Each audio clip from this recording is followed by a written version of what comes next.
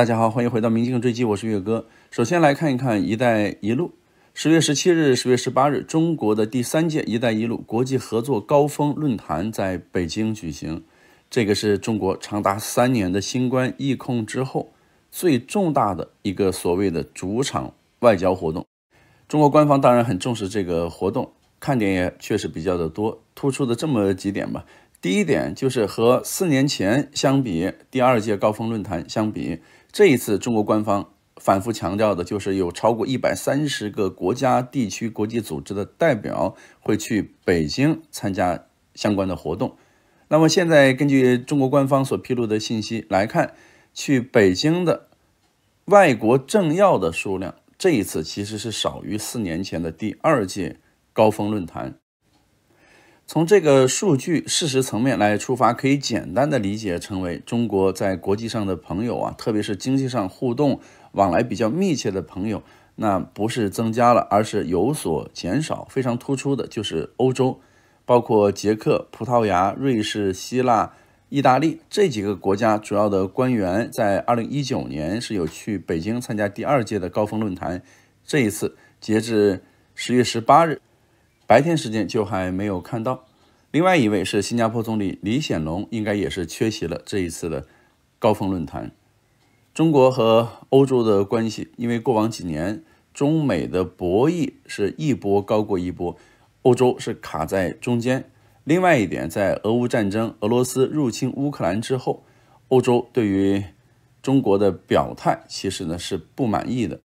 再加上意大利、捷克政府换届之后，对于“一带一路”是如何参与、如何互动合作是有不同的意见，所以这些因素就导致。来自欧洲国家的政要，较二零一九年是有比较大幅度的减少。第二个看点也是比较有趣，就是这一次啊，去北京参加高峰论坛，同时顺道着进行国事访问的智利总统，非常年轻的，一九八六年二月，等于是刚刚满三十七岁的博里奇，在北京是得到了中共的礼遇。包括十月十八日的人民日报，关于他的消息是出现在非常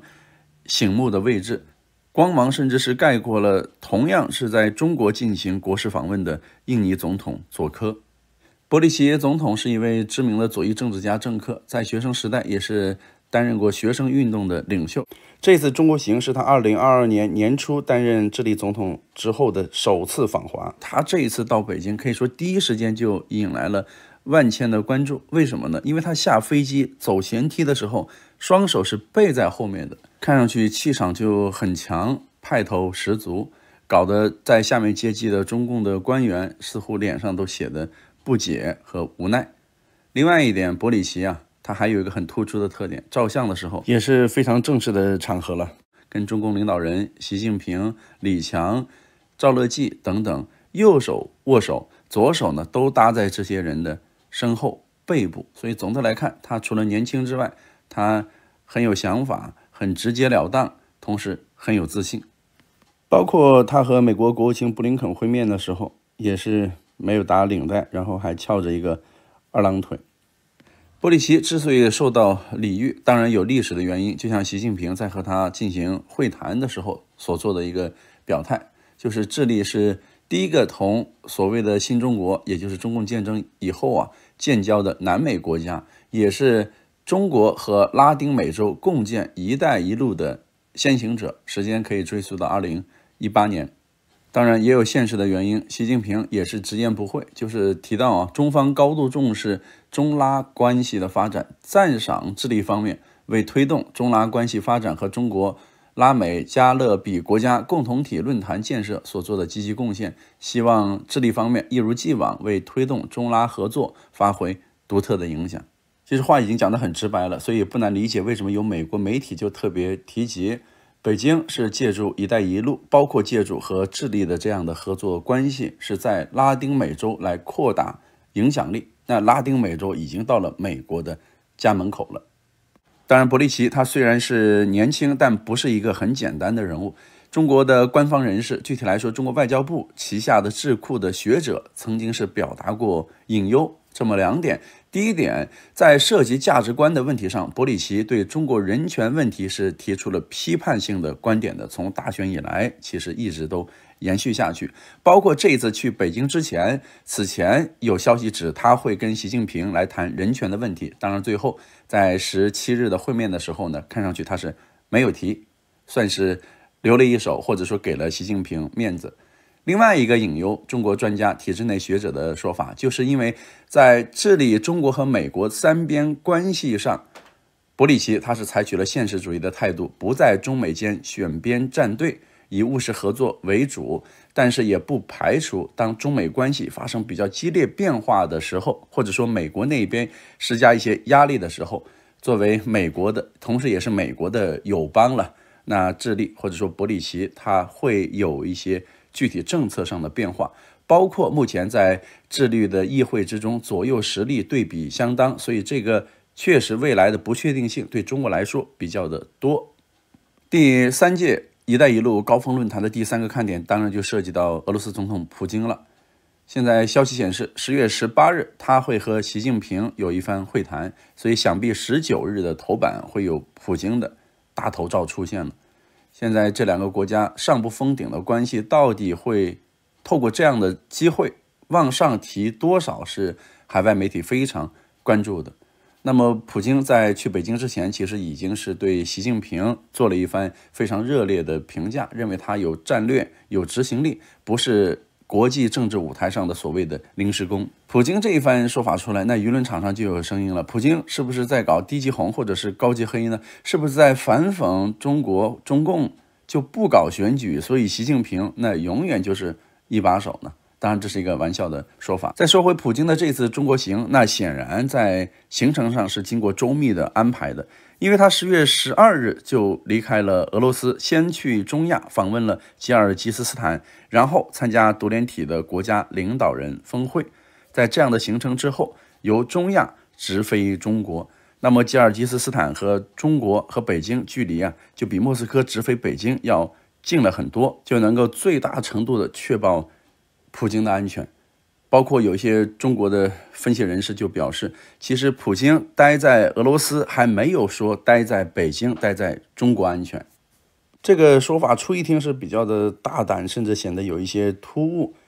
那么俄罗斯人听到，或者说支持俄罗斯的人听到，心里可能还有一些不舒服。但是想一想，也还是有一些道理。不过，普京如果长期的待在中国，脱离了俄罗斯的政治中枢，那他本人的价值其实也就不存在。普京这一次的中国行，事实上是他下令军事入侵乌克兰，并被国际刑事法院以战争罪涉嫌战争罪下达拘捕令以来，他首次访问中国。中国又不是国际刑事法院罗马规约的缔约国，所以这个逮捕令对中国是没有效应的。根据在现场的西方媒体发出的报道，在第三届高峰论坛，普京是有发言。那么在他发言之前，一些参与开幕式的西方国家代表是离场了，其中就包括法国前总理拉法兰等人。等到了双边的会晤会谈的时候，习近平有一个说法：中俄双边贸易额正不断朝着我们，那就是中俄双方共同确定的两千亿美元目标迈进。而普京。回应的时候也是提到了这个话题。他说：“我们昨晚分析，从一年前的今天开始，两千亿就已经达到了。对于今年年底来说，这个肯定会被超越。”接下去来看看李强，中共的二把手。在九月底，李强他的妻子、他的女儿所谓最强版的简历在海外被公布出来之后，曾经有一些人说李强就彻底失掉了习近平对他的信任。那其实呢，这个说法只是臆测，或者说就是一种猜想。李强他当然是目前来看，中共建政以来权力最弱、姿态最低的一位国务院的总理，但是他目前仍然是得到习近平的信任，这个是没有疑问的。包括在十月十七日，李强是会见了去北京参加“一带一路”高峰论坛的多位的政要，能够看到这一点。另外一点，还有一个细节，其实更为重要，就是现在可以看到，李强已经着手为今年年底就要举行的中共中央经济工作会议在做准备了。为什么这么说呢？因为李强在这一次的会议中，他就特别提到，确定发展思路、制定经济政策、实施宏观调控，都要向高质量发展聚焦。当然，这个说法乍一听也是比较的虚。他给了两点解释：第一点就是要更加有力的去实施宏观政策的调控，打好宏观政策的组合拳，加强政策预研储备；第二点呢，就是要注重转方式、调结构、增动能，坚定不断深化改革、扩大开放，加快培育高质量发展的新动能、新优势。李强也对中国经济态势走势是发表了看法，当然，显然代表的就是中共的观点。他提到，今年以来，在习近平同志为核心的党中央坚强领导下，中国经济在固本培元中持续回升向好。固本培元，一个非常典型的中医药的词语，那么为实现全年发展目标打下了坚实基础。您现在看到的这张照片，这张特写是一些中国的官方媒体，包括央媒报道相关消息时候所选的一个主题主打的图片。能够看到李强的神色是非常严峻的，某种形式上，它显示着也是中国经济发展遇到的困难。李强的这个提法，不管是说从思路上来看，还是从时间的提前量来看，十月中旬两个月准备，十二月开会。那么应该就是在为中共中央经济工作会议在放风了，甚至也不排除在年底举行的中共二十届三中全会。一般来说，三中全会都会涉及到经济议题，它的这个思路也会贯穿到三中全会。所谓的中共中央经济工作会议，一般来说呢是管未来一年经济要怎么样走。那么三中全会它定的经济的战略呢，是要管这一届的中共中央未来几年的。走法，中国经济怎么调整？那具体的一些头绪啊是比较的多，其中房地产市场何去何从，是大家非常关心的。包括民进追击，有些观众朋友在深圳、广州、上海、北京等等，有一些手里的房子还不只是刚需，有些朋友在海外就琢磨着这个在国内的房子到底该怎么处理，是继续放租呢，还是索性就卖掉，把钱转出去呢？那么在李强所主持的这一次的。座谈会上，这几位专家企业家中排位第一的就是刘元春了。他的说法，那其实就可以重点来看一看。刘元春早期是在中国人民大学得到了博士帽，是中国的经济学家，目前是担任上海财经大学的校长、党委副书记这样的一些职务。在薄熙来担任重庆市委书记如日中天，看上去就要冲击中共的常委的时候，当时。中国人民大学是搞了一个重庆课题组，由当时的人大的校长吉宝成做课题组的牵头人物。那么刘元春当年相对是一个小字号，也在课题组中担任一个角色。吉宝成后面是因为涉嫌贪腐被取消到了副部级的待遇，也算是勉强平安落地。那么刘元春这一路发展下来，看上去呢是没有受到太多的波及。刘元春就在这一次的座谈会。给李强献计献策之前，大概一个月的时间，接受中国媒体采访，是对中国房地产市场出现的问题是发表了看法。那他提到的内容比较多，大概核心的是这么几点。第一点，目前中国很多地方啊出现了，比如说降低购房成本、放开限购政策等等。这样的目的就是要稳住市场预期，因为只有稳住市场预期，房地产销售才能改善，企业的流动性才能好转，资产负债表才能逐渐修复，债务压力才能缓解，进而才有余力带动投资。但是他也强调，这第二个要点了，就是密集出台的稳楼市政策会发挥积极作用，但是对于房地产市场这次时代的调整，要有更长远的打算，不能寄希望于短时间内就出现。明显的逆转，到底谁要做更长远的打算呢？它首先指的当然是房地产的开发商，同时也包括一些银行。最后呢，买房的、卖房的这些人，不管是刚需的，还是说做投资的，或者说炒房的，都包括在中间。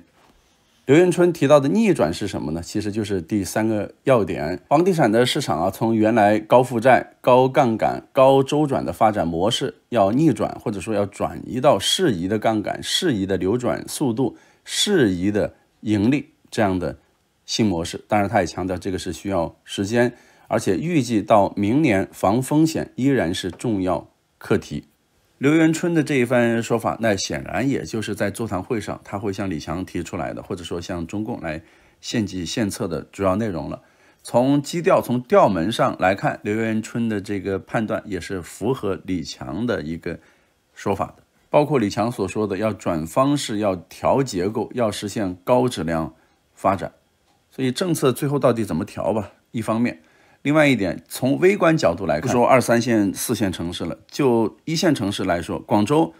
在年中六月份左右的时候呢，其实二手房市场进入买方市场。就是买方有更强大的话事权、议价权，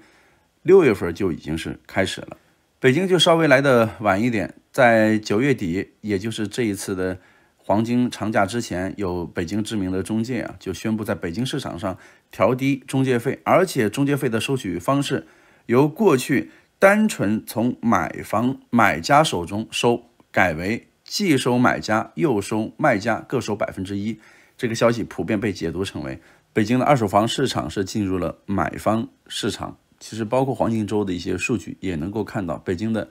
二手房的房价是在跌，包括一些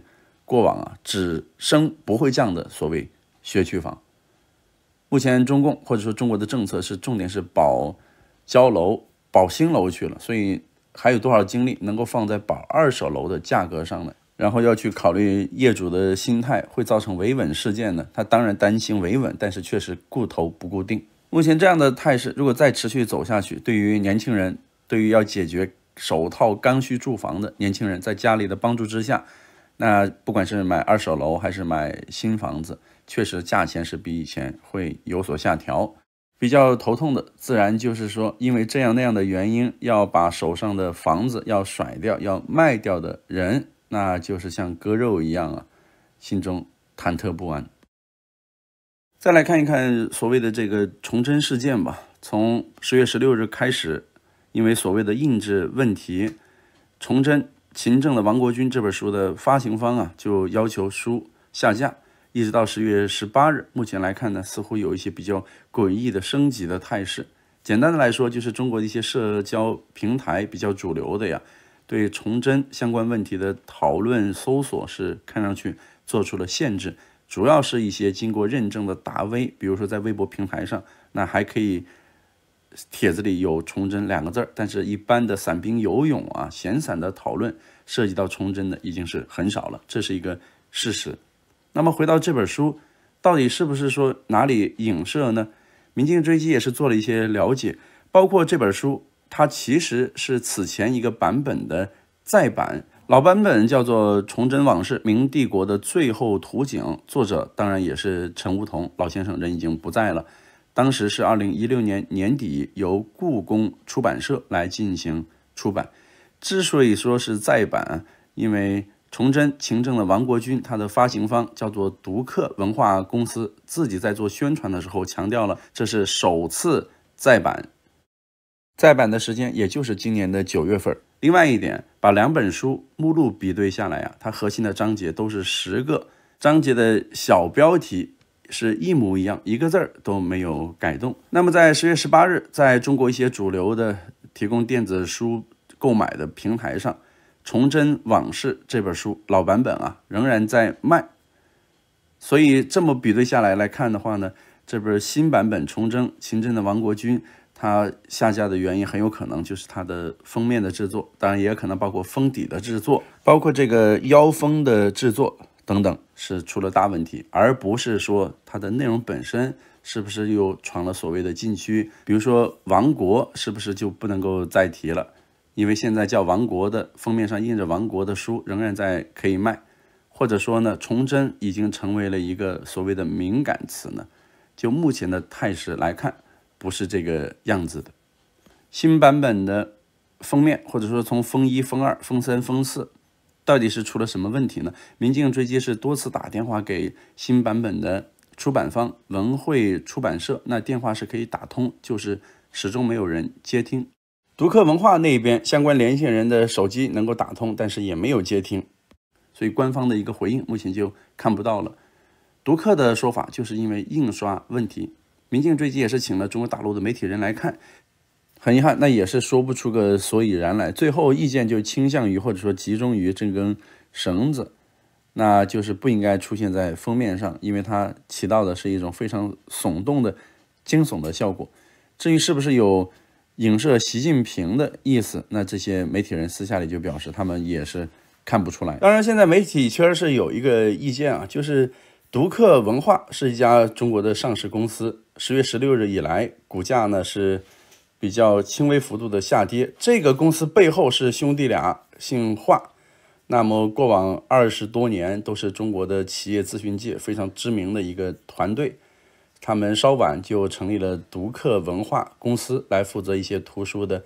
营销经销工作。所以有媒体人认为，这两个人呢，其实过去一直就是在走一些擦边球、剑走偏锋的方式来宣传他们所经销的书籍，所以也不排除这一次利用民间的情绪来做所谓的。营销，当然这个如果说确实他们是有意识来剑走偏锋的，那这兄弟俩画面上的这两位了，胆子就算是很大了。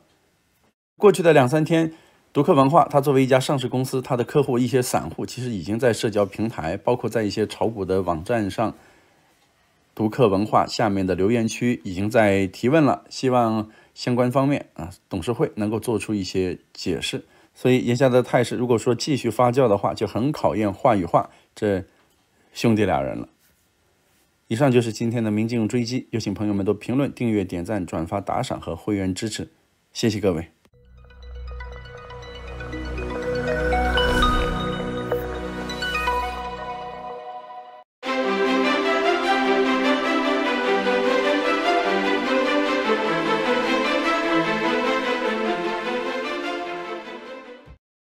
大家好，欢迎收看《世界的中国》节目。今天我们先把视线稍微远离一下愈演愈烈的巴以冲突，看一看在过去三年被中方逮捕并判刑的澳大利亚籍女记者陈雷近日获释并回到澳大利亚的情况。这几天，天空新闻 （Sky News） 播出了对她的专访，这也是陈雷获释以后首次露面接受媒体采访。在这个消息。透露出来之前，我就十分关注，想知道陈雷大概会谈什么。当然，我也清楚，根据以往的经验，比如说上一次中方逮捕判刑了新加坡《海峡时报》驻香港的特派员程怡啊，程怡放出来以后，也对中方对他的指控具体的细节讳莫如深，不能细谈，因为这里面水太深。这也可能啊是他们获释的条件，就是不能对外谈过多的细节，因为。谈细节本身又可能再一次触犯所谓的国家机密，所谓的一些敏感信息。但是，就是从这一篇的采访里，我们仍然能够得出一些结论，找出一些线索，理出一些脉络，对公共利益啊是有帮助的。所以，我们今天啊斗胆来谈一下记者这个职业以及相关的敏感环节。对我们的观众啊，你从事啊外交、外贸，从事。信息搜集、法律、社会调查等等等等，你只要涉及到外方这些细节啊，你都是需要注意的啊。比如说，当记者问程雷：“你到底做错了什么？”彭雷说：“拘留他的目的似乎是为了证明他做的一些事情是错误的。在中国，这是一种大罪。你看加引号，这里面的意思是说呀，在中国这是一种大罪，在国外啊未必是这样。比如说，他提到。”在我们这里看来无伤大雅的事情，在中国啊都不是这样。我相信不仅是发稿实现，还有其他很多的其他事情。但是他否认了中国政府对他的正式指控，就是将国家秘密提供给了境外机构。那在陈雷刚出事的时候，我们就分析过，陈雷啊是一个外籍主播，澳大利亚人，而且所工作的单位是 CGTN 中国环球电视网央视的啊国际部分，他的身份以及央视的性质。都决定了，他不可能拿到密集特别高的材料啊，他能拿到的无非就是用来编辑的一些素材，编辑以后整理成完整的新闻稿，主编、总编审过以后播出而已。那从这一次陈雷接受记者采访所聊到的一些信息，我们再和中方对他的判断做一个印证，就可以得出一些结论，就是他对自己手里拿到的工作材料掉以轻心了，因为。中方对他的指控说，违反于自己的雇主就是 CGTN 的有关保密条例啊，将信息提供给了外方。你看，判了他三年，搞了这么长时间啊，拿出的理由啊，就是违反了和他雇主的工作协议，可见这个材料是和他的工作内容相关的啊。再加上彭雷自己在接受采访的时候说啊，发稿时限啊等等等等啊和这些事情有关。那根据我的推论，是出现了什么情况呢？他拿到了一份政府简报，这份政府简报稍加编辑就用于他即将播出的新闻时段，但是在经过编辑加工之前，在他啊没有 broadcast 把它变成一个公共信息之前，他把这份简报啊可能手滑顺手就在手机上分享给了某境外机构啊，这个可能性是最大的。那这个事情啊可大可小啊，如果是中央电视台非外籍人员啊，你比如说他分他的同事分享给了啊北京市社科院。分享给了人民日报他的同行啊，这都不是什么大事但问题的关键就是他本身是外籍，他把它发给了外籍的机构，更何况当时中国和澳大利亚的关系啊紧张到了极点，澳大利亚在中方的眼里是刺儿头啊，是这个挟洋自重啊。比如说疫情这个事儿，黑不提白不提就完了，搞什么搞啊？调查什么呀？对吧？反正谭书记也是我们自己的人啊。世界卫生组织都已经发话了，没有实锤证明这是和中国有关，对吧？更何况和实验室也没什么关系啊。那你澳大利亚还跳出来要搞啊全球疫情的调查，啥意思啊？那虽然你没说一定就是要调查中国，那你不摆明了是要搞我吗？啊，那在这种情况下，搞在北京的澳大利亚人就成了最直接的反击的手法。那程雷这种人，当然就是重中之重，当然就是最容易抓住把柄的人选啊。这个时候啊。他就给搞进去了啊！那程雷啊，还讲到了他被捕的一些细节。他说啊，他这个被央视的领导通知来办公室开会啊，谈工作。当时只是以为上司和同事跟他开会，结果到了会议室，发现里边有二十多号人，然后有人站起来出示了徽章，说跟我们走一趟。所谓的徽章啊，就是我估计啊，是北京市国家安全局的徽章啊。他们立刻没收了程雷所有的东西。把程雷啊押送到他的公寓啊，他们已经通知好了程雷院子里的保安，然后通过车库来到了程雷的公寓。他们在那里啊翻了程雷一整天的证据，整个房子是滴水不漏啊，每个环节每个细节都已经啊给筛了一个遍。那程雷后来表示，这三年时间啊，那他真的是受尽了苦难啊。有些细节啊，我发现非常有意思。对这些触犯、涉嫌触犯国安的这些嫌疑犯啊，也和其他的刑事案件差不多。比如说啊，他不让你睡觉，但不是说这个逼着你不让你睡啊，是房间里老有灯啊，这个灯啊不黑，那很多人是灯亮堂堂的，是睡不着的。那程雷啊，啊也是遭到了这样的待遇啊，几年时间啊，那个房间里的灯啊都是亮着的啊，她也没有见到过阳光。啊，好像在她前段时间通过她的丈夫，通过澳大利亚方面流露出来的一些证据讲，啊，她只有几小时的时间见到过阳光。三年多来，她可能唯一能看到的就是自己细小的白发一根一根的长出来，以及前一天晚上没有睡好的黑眼圈啊。所以程雷的这个经历啊，啊，那是非常非常可悲的。当然，我们也为他最终能够获释，我感到高兴，感到高兴。我在看澳大利亚天空电视台对程雷采访的时候，他提到了他的母亲啊，在三年里啊，他没有看到母亲。当他们第一次见面的时候，双方都尖叫拥抱啊，他的母亲啊苍老了很多。当他说到这句话的时候，我看采访他的啊程雷的女同事也抹了抹眼角，也流下了泪水。所以这些事情啊，在中澳两国的关系里面，在世界风云变幻的这样一个关键时刻，尤其是打打杀杀啊，巴以冲突。啊，俄乌战争这些巨大无比的事件面前，貌似这是个小事件，但是我们为什么要把它拿出来聊？一方面就是因为程雷是我们的同行，另外一方面也是让我想起一句话，那就是时代的每一粒微尘落到个人头上的时候，那都是一座大山。程雷啊，就被这座大山压了三年。不幸中的万幸是在澳大利亚各方面的努力之下，他终于安全的、健康的回到了澳大利亚啊，这一点是不幸中的万幸。那今天啊，我还要跟大家聊一聊什么呢？啊，程雷这个案件啊，作为记者触了红线，这不是第一次。不但中媒啊、外媒触碰过，中媒啊、新华社、国社这样的记者也触碰过。这里面给我们一些经验啊，说白了，那就是啊，用一句特别实在的话讲，就是自己工作里面还是要小心啊，还是不能把主义当饭吃啊，也不能把人情啊当饭吃。程雷这一次，你看平时把一个政府简报可能给别人啊没问题，那这一次啊就出了大问题啊，出了大问题。我这里面要给大家举一个什么例子呢？啊，老一辈的新闻工作者都知道当年的啊新华社梁慧敏案啊吴世深案，新华社的副总编辑叫吴世深啊，他和一个朋友啊香港快报的记者叫梁慧敏啊有问题了啊，是在十四大召开之前，一九九二年九月三十号，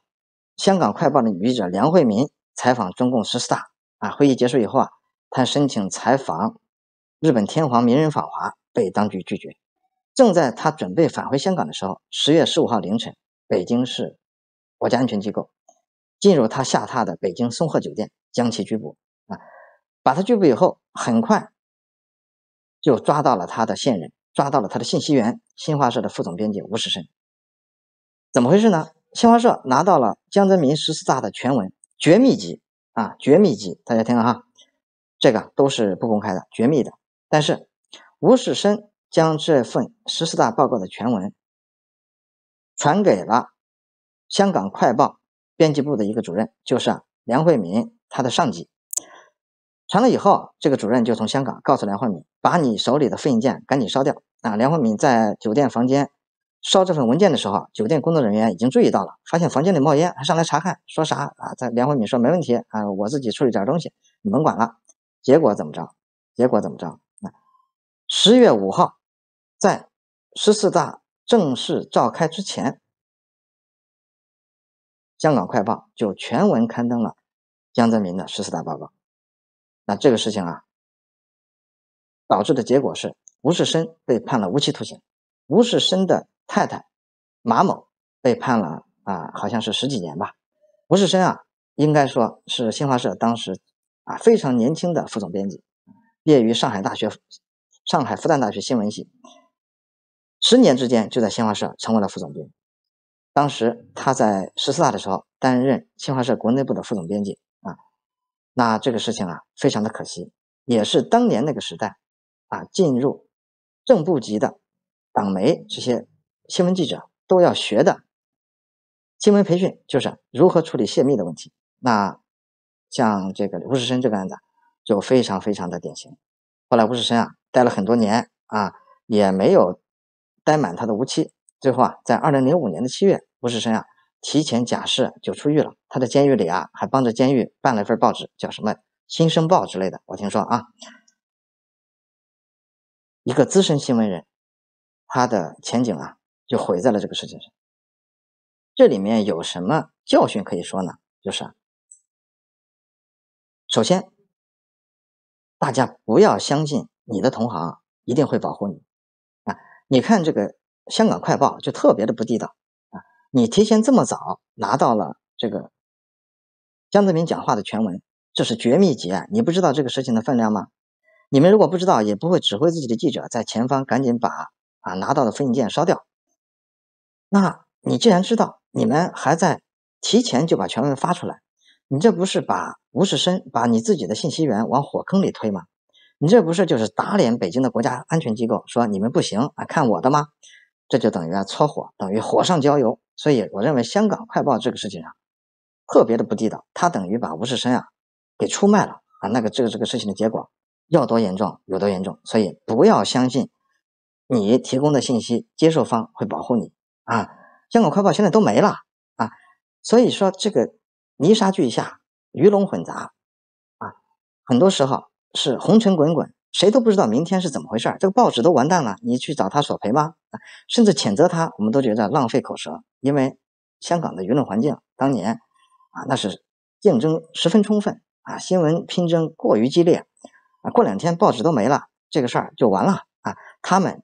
绝对没有人会对你的安全负责啊。所以从吴世生这个事情上，特别的可惜。我认为香港人。把吴世生给坑了，那这一次陈雷这个事件也非常可惜，那就是在当时这个情况下，跟陈雷要这份资料的澳大利亚方面也特别的不地道啊！一份政府简报，你等他播完了，你们根据公开的信息整理一些材料，不就完了吗？啊，坦率的讲，大部分相当一部分的这个所谓的智库机构，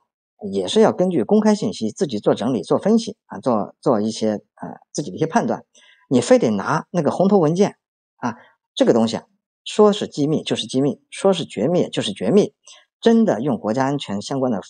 啊。条文来卡的时候，你还真没脾气。所以到今天为止，陈雷啊，他都不愿意谈当时的这些细节啊，那就是这个事情仍然是啊心有余悸，仍然是对自己是有后果的，所以他不愿意提。但这个事情可能会有多大呢？可能根本就不会有多大。那这个事情啊，很可能是一个莫名其妙的事件，导致了一个人一生中啊有三年见不到阳光，三年从自己的生命中啊抹去。给自己的身边人，给自己的家人带来无尽的痛苦，所以啊啊，涉及到外事、外交，只要涉及到外、台，甚至是港这几个字的个人和机构，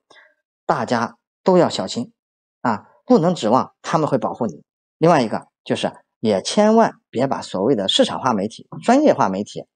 啊，当成他们会对你对得起你、对你啊考虑周全的一个保证，他们不会的。当然，更重要的是。当年那个时代啊，江泽民啊还是比较开开明的。当时中国的舆论环境啊也是相对开明的啊。如果不是香港快报把全文在开会之前就发出来，可能中央也不会下手下的这么重啊，把新华社的一个副总编给判了个无期徒刑啊，是不是？这个是只能说啊，不能太过分啊，不能太过分。那在跟所有外方打交道的时候啊，不该聊的天啊别聊啊，不该给的信息啊不能给。啊，那这种情况下，只有十二分的小心，才能保得住你一分的安全。哎，在目前这个形势下，这个局形势比起江泽民时代来要严苛一万倍，所以相关的方面，我们的观众朋友，你更应该小心。那现在除了澳大利亚以外，最敏感的区域还有谁？当然就是台湾。所以大家跟台湾人打交道一定要小心啊！当然，我不是说你不能交朋友，朋友啊越多越好。关键的问题是啊。当他跟你要一些敏感的信息啊，聊天越聊越往不该聊的方向聊的时候，一定要小心，因为他们根本就不会保护你啊。这里面最明显的案子是什么？大家知道吗？也是老一辈的人都知道，刘连坤案。刘连坤案是解放军总后勤部军械部的部长，少将军衔，够敏感吧？啊，很厉害。你看，国民党的特务啊，把军械部的部长都给策反了，正儿八经策反，领两份薪水。台湾给他发一份啊，大陆给他发一份台湾也给他这个少将军衔哈，所以当时对他的这个触动是很大的。就是你看，我两边都有少将军衔，他呀啊为台湾服务了很多很多年啊，很多绝密的信息啊啊就是他提供给台湾方面的，甚至影响了中美台三方的关系。比如说，刘连坤向台湾军情局提供了啥呢？从一九九二年开始，他。向台湾提供解放军对外采购的详细情况啊，军备、军械，以及啊中央接收香港的详细计划，对台的战略调整啊，特别是他还向中情局、向军情局提供了中国对俄罗斯军购的军事机密啊，特别是苏二七和 S 三百航空导弹的详细信息。那一九九三年一月十三号的时候。啊当时中央军委主席江泽民在中央军委扩大会议上提到解放军在新时期的战略方针啊，这个信息啊，台湾方面非常着急啊，让刘连坤赶紧拿到。刘连坤啊，为了防止泄密，以手抄本的形式把江泽民的讲话抄了一遍，给了台湾啊，这让台湾知道中国大陆已经将军事部署的重点调整到了东南沿海、中印边境和南中国海。这份情报啊，直接送给了李登辉啊。这也是刘连坤啊向中华民国啊台湾提供的最有价值的情报之一啊。当然，刘连坤啊确实拿了不少钱啊，每次啊少则四十万新台币啊，多则呀达到一百万新台币啊，都存在外国银行啊。这些钱啊都是由这个啊中间人叫张志鹏来来转交的啊。那刘连坤啊最后出事儿最大的一个问题啊，在于一九九六年啊。台海飞弹危机的时候，当时解放军搞军演啊，整个预算啊是四十多亿人民币。当时解放军已经做好了最坏的打算，就是实弹射击越过海峡中线，动用潜艇和攻占外岛啊，这是理论上的可行性。台湾在拿到了刘连坤的这个情报以后，赶紧派国安会的秘书长丁茂实两次到美国求援。美国在确认了刘连坤的情报准确之后，派出了两艘航空母舰“独立号”“尼米兹号”到台湾海峡施压。啊，面对突发的来自美国的军事压力，解放军啊调整并降低了演习的规模，变成了什么？变成了导弹不飞越台湾外岛。战机和军舰不过台湾海峡，不攻占外岛。这里面最核心的信息就是二炮，解放军第二炮兵部队的东风十五短程弹道导弹由实弹变成了空炮弹啊！所以李登辉选举的时候，为了安抚民心，大嘴巴说啊，共党这个共军的这个哎演习啊不可怕，打的导弹都是空炮弹。你看李登辉这王八蛋，这孙子。他拿到了中方的绝密信息，他就张口就在自己的公开讲话里面说了出来。那有关方面当然就知道有间谍泄密了，否则台湾方面怎么知道我们打的是空炮弹啊？最后顺藤摸瓜，把刘连坤呀给抓住了。抓住以后，江泽民啊是勃然大怒，军械部的部长啊，拜托啊，给国家造成的损失太大了，所以刘连坤啊被处决了。那根据我得到的信息啊。中文媒体啊，很多都很少报道，英文媒体也很少报道。当时被处决的呀，可不只是刘连坤，刘连坤还发展了很多下线，在总参装备部那个大院里头，处决了很多人啊，很多人具体几个字几个人我也不能说，处决了很多人啊，所以那段时间啊，总装备部那真的是哀鸿遍野啊，很多人家里啊都带黑袖章啊，这个家里人给毙掉了。也不敢明说，对吧？被处决了，那刘连坤呀，啊，特别的惨。所以你看，他把这个事情啊，也看成是一个啊，晚年退休以后有个交代。你看，国军这边我也搞个少将军衔，共军这边我也是少将，但是这不意味着他呀，认为台湾应该从祖国大陆分离出去。这些人就是图钱，还有呢，要么就是图一个成就感。也许他觉得自己应该当中央军委副主席了。在内部老是得不到提拔，他一看被提拔那些家伙，也是要么就笨的要死，要么就是这个坏的要死啊。很多人啊都是因为这个原因啊，内部不得志做了间谍，但不意味着他们在思想上啊和北京啊有什么根本的区别。你比如说这个李登辉老发表这个啊台独言论，这个刘连坤啊就很不满，他就约见他的上线啊台湾的情报部的这个部门，当面向他们提出自己的抗议，说哎。你们你需要情报，我你给我钱，我给你情报，对，这可以，但是我可不能做中华民族的千古罪人，我可不能为你们提供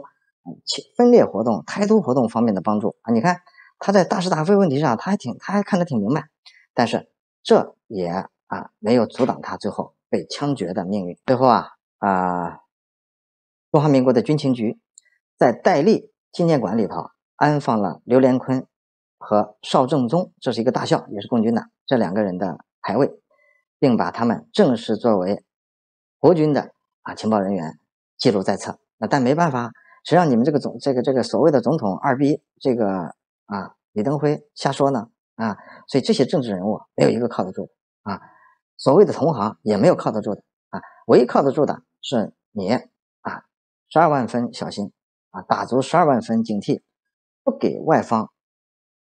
任何机会和借口啊。把你搞成他们的间谍，搞成他们的线人，否则的话啊，很多时候一旦踩进去，这个后果是十分严重的。今天我们就利用陈雷被释放这个消息啊，给大家聊一聊啊，澳洲、台湾所发生的一些啊间谍事件啊，以及他们的严重后果。通过这些细节啊，大家也可以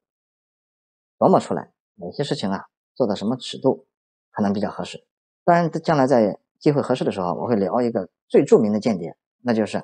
中共前政协主席俞正声的哥哥俞强生啊，他到底怎么回事？有人有人说呀，于强生，于强生当年是这个负责美大方面的解放军的最高情报官员啊，国家安全部的最高军情这个这个情治人员，他竟然跑到美国来了啊！有人说他已经在南美被做掉了，啊，于正声到底还活着，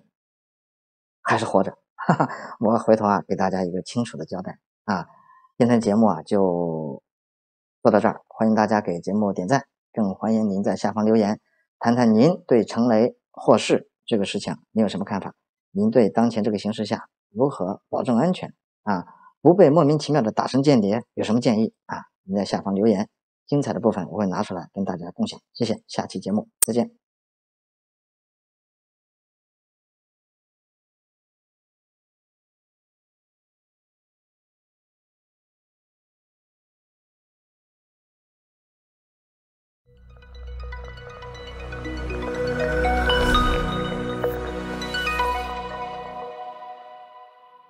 大家好，欢迎回到《民镜追击》，我是岳哥。十七日、十八日，中共是疫控三年以来最大的一次主场外交，第三届“一带一路”高峰论坛就已经结束了。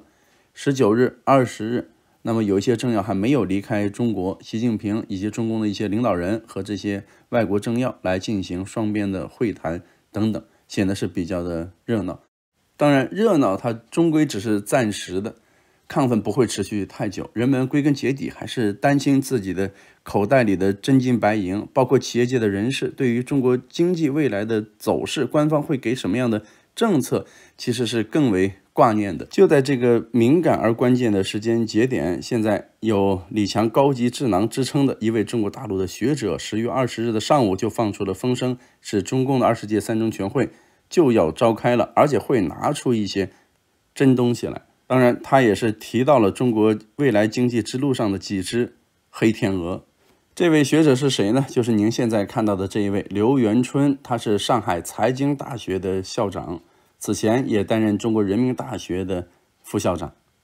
在十月二十日上午的一次宏观经济论坛上，他是做了一番发言。刘元春现在在中国的经济界可以说是声名显赫，主要的原因。当然，过往与他的积淀经历有关系，但是更直接的，十月十三日，在李强所主持的经济形势座谈会上，刘元春在八个学者和企业界的代表之中，他是头一个来进行发言。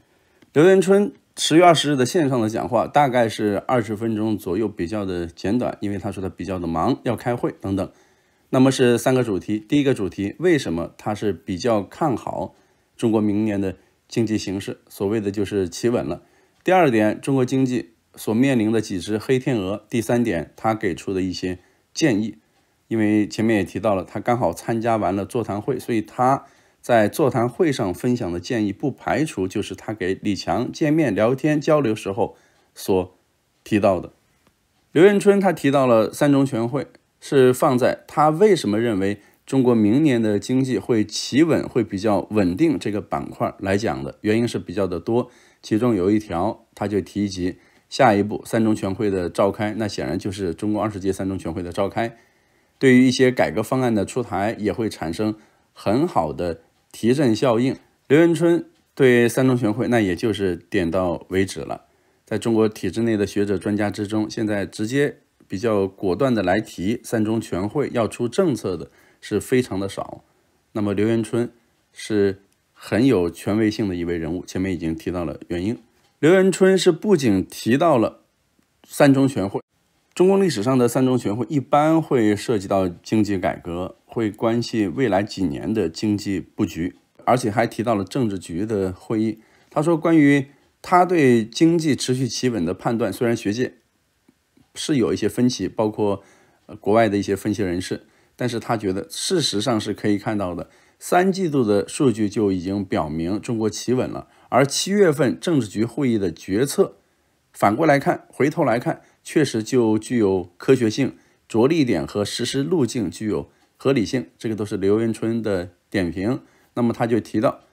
第四季度会看到中国国家政策将进一步加码，尤其是一揽子化债方案。系统性的收入分配政策的出台，包括一些民生政策的出台，会看到积极的财政政策全面在四季度得到回归。这些政策的全面回归所产生的政策效应，实际上就会在明年的第一季度显现。通过他内容的表述，不排除他就是指，或者说他个人的预期吧。十月份的这一次政治局会议就会有一些利好的政策会形成，会拍板，然后随后就付诸实施。刘元春他所释放的信息，一方面就是印证了此前在舆论场上有消息指习近平是不打算开中共二十届三中全会了。那么根据刘元春的消息，这个说法当然就不实。另外一点，顺着刘元春的思路，也能够看到。像这种“一带一路”峰会场合，那因为是中国的主场外交，中共当然也是重视，但是中共自己也还是明白，最后它包括“一带一路”能不能走得长久、走得安稳，包括执政党的地位，中共能不能够继续稳定，归根结底还是在经济上。所以十月份的政治局会议、年底的中共中央经济工作会议以及二十届的。三中全会一般来说肯定是包括经济议题的，对中共来说其实也是很重要的，甚至可以说是更加重要的。刘元春十月二十日他分享的看法中啊，第二个比较大的看点就是提到了中国经济复苏之路上的几只很有可能就会飞出来的黑天鹅，除了这个地方政府化债、传统和新兴市场的一些过剩产能。他特别提到了新能源汽车现在是铺的太猛，那不可避免的在某一个时期就会出现产能的过剩，以及因为世界经济疲软是大概率的可能，所以明年中国它的出口机电产品啊、成套设备的出口会受到冲击，这个都是黑天鹅。但是最核心的黑天鹅，最黑的那个黑天鹅，当然还是中国的。房地产了，他就表示，中国的房地产市场啊，九月份是有所调整，但是四季度销售的数据是否会有好转呢？他说，目前看是很难。明年二零二四年是否又回到从前房地产市场呢？他说，毫无疑问不可能，因为现在中国确实已经进入到了房地产的新时期，包括投资资金流动性依然偏紧，而且房地产。价格的稳定与否，它是有不确定性的。有一些细节了，就是从九月份和十月份上旬数据来看，京沪房地产是基本稳住了，但是广深的房地产还没有稳住。四季度一线城市稳定的目标那是实现了，能够实现了，这是刘元春的一个判断。但是二线如何稳定，尤其是三四线城市的稳定，实际上还面临很多的不确定性。更重要的是，对于头部企业。债务重组方案是否会得到很好的企稳和快速解决？这是明年二零二四年房地产出现相对稳定的前提。如果我们，那他这个应该指的是决策者了，犹豫不决，老是出现一些拖沓，那么房地产的问题还会面临一些考验。刘元春讲话的第三个看点，自然就是因为有这样那样的问题。风险在持续的溢出、调整、发酵，那么他给到的应对方案是什么呢？这些方案不排除就是十月十三日在李强的经济形势座谈会上，他给到李强的关于房地产，那他就提到要有一揽子的政策，包括要稳房价，要要加强调整的能力等等，那也是比较的简单。关于 GDP，他的建议呢，就是。明年的增长目标不要定得过低，两个原因，一方面就是中国整体创新能力和资源配置能力来看，其实潜在的空间依然是很大的，而且第二个原因，他认为更重要，就是中国经济发展的态势不被很多国家看好，包括国际货币基金组织和世界银行等国际机构是下调了中国的 GDP 增速，是低于百分之四点四，所以他觉得为了提振信心。而且也是从中国的实际出发，他建议中国的 GDP 的增速应该是百分之四点五到百分之五这个区间。二零二三年、二零二四年两年平均 GDP 的增长速度是百分之四点八是比较合适的。那他的这个建议，不知道李强有没有听进去？关于 GDP，可以说此一时彼一时，往前走。二零二二年五月份，当时中国国务院总理还是李克强的，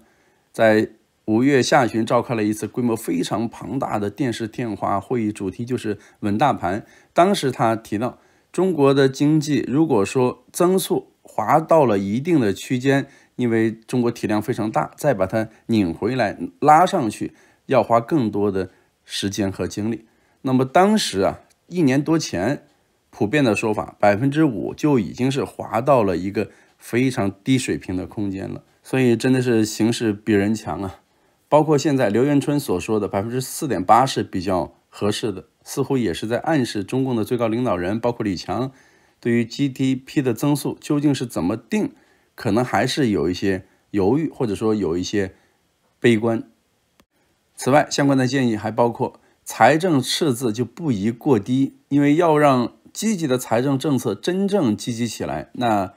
他的建议。百分之三点二左右的财政赤字是比较合适的。刘元春在这里提到了百分之三点二，其实关于财政赤字，中共长期以来呢，确实是视它如洪水猛兽，有百分之三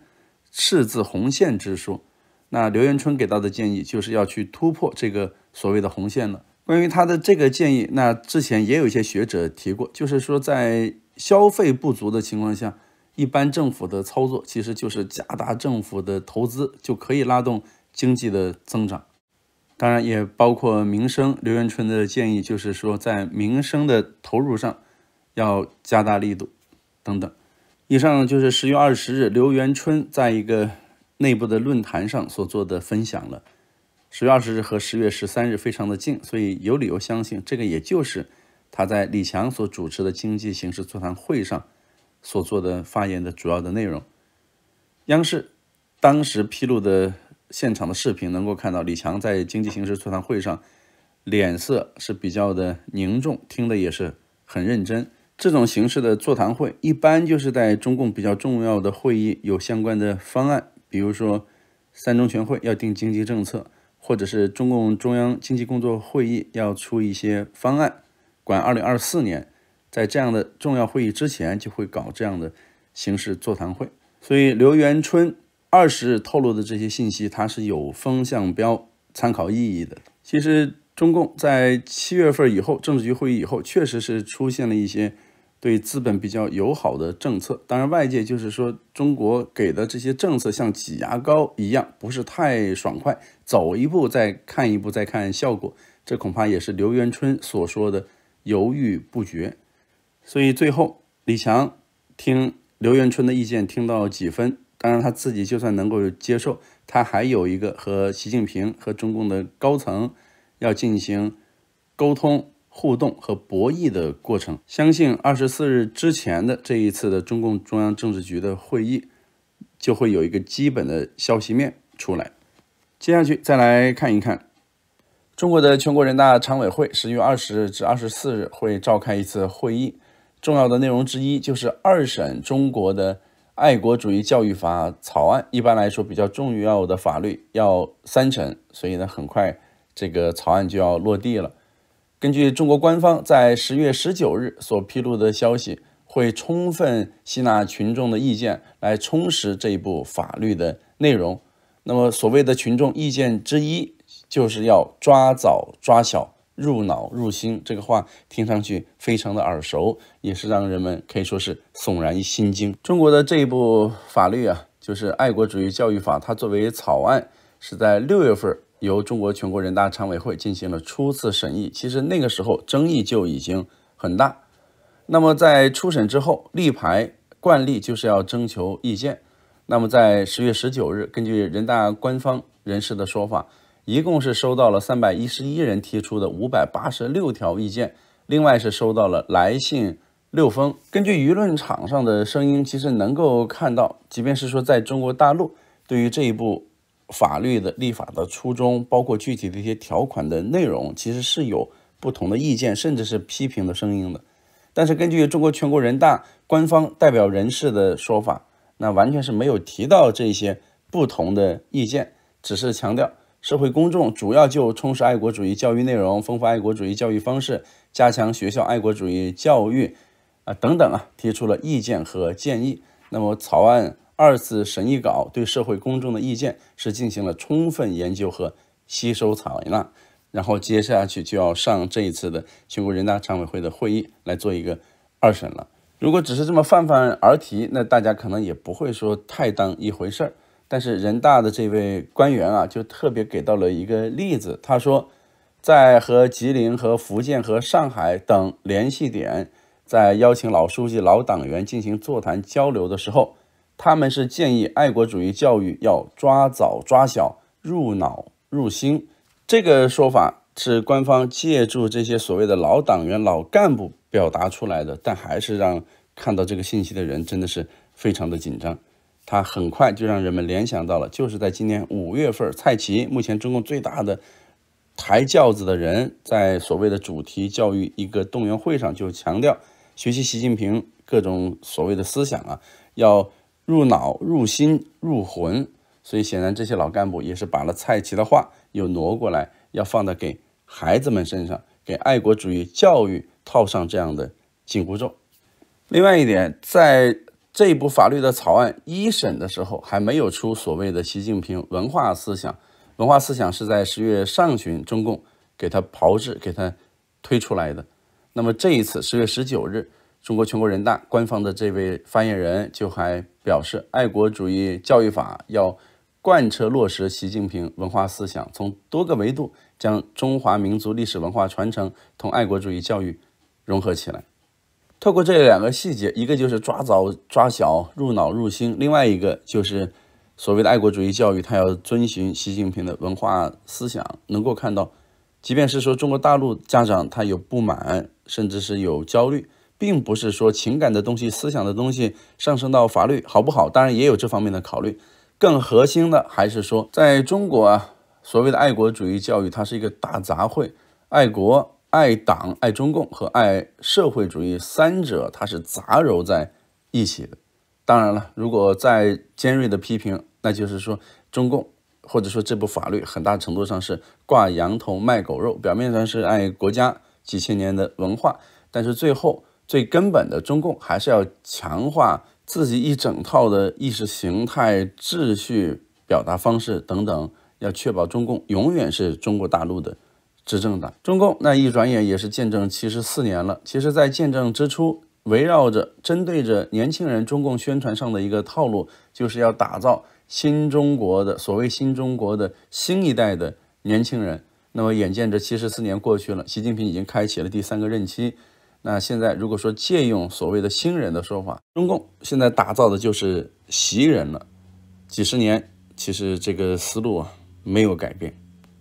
民进追击是和中国大陆的一些媒体人做了交流。对于所谓的爱国主义教育法，如果说是突出中共的这个核心的位置，突出习近平要入脑、入魂、入心等等，那么他们内心是抵触的。但是呢，因为要在中国大陆吃饭、生存下去、生活好是第一位的，然后孩子主要也是在公立学校读书，所以他们也没有更多的选择了。在中国的社交群组里，那有些人就不干了，说美国也有类似的法律啊，比如说美国的爱国者法案。其实这个法案它正式的名字啊，看下来翻译成为中文很长的一串，就是通过提供拦截和阻止恐怖主义所需的适当工具，来团结和加强美国的二零零幺法案。包括内容看下来，与所谓的爱国主义是没有太多的关系，它是一部反恐的法案。主要的就是扩大美国联邦执法和情报机构的搜索以及监视的权利。川普在担任美国总统的时候，专门成立了一个机构啊，叫做一七七六委员会，主要的目的就是推动美国学校恢复爱国主义教育。但是根据川普的说法，这个所谓的美国爱国主义教育，主要的也是涉及到种族的议题，那与中国或者说与中共目前在推的爱国主义教育立法，那不是一回事。而且，这个一七七六委员会在拜登成为美国总统之后，很快的就被解散掉了。所以，川普所力推的美式的爱国主义教育，那没有人去更多的关注。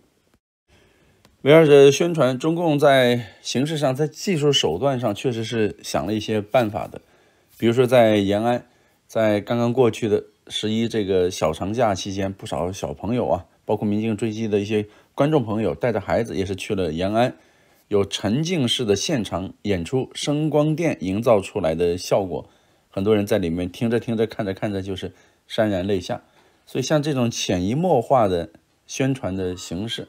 那对小朋友的影响其实是非常的大。再比如说，在央视这个层面，包括刘芳菲、李思思、海霞、欧阳夏丹等等，年龄相对是偏大一点的女主持人已经是离开了。那么盛海雄目前是央视的一把手，想必会填充一些新面孔进去。包括央视已经是这么多年以来出现了第一位九零后的女主播，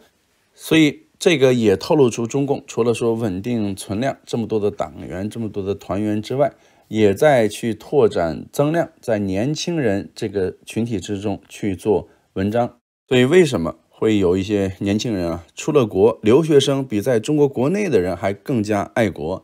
同样在中国大陆一些家庭啊，爸爸妈妈他还是有一些民主的思想，因为见多识广，但是这个孩子反而是左的要命。其实都是中国这种宣传引导所得到的一个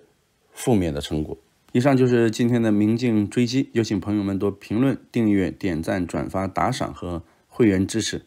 谢谢各位。